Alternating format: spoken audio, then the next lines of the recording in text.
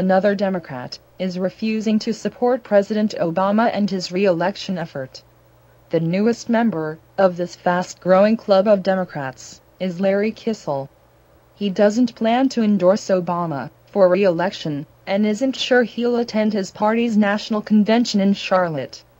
Kissell, and many more in his party, is upset with Obama and Democrats over Obamacare. Last week, Kissell was one of the many Democrats who voted with Republicans to hold the Attorney General, Eric Holder, in criminal contempt of Congress. And next week, he plans to vote with them again to repeal President Obama's horrific health care law.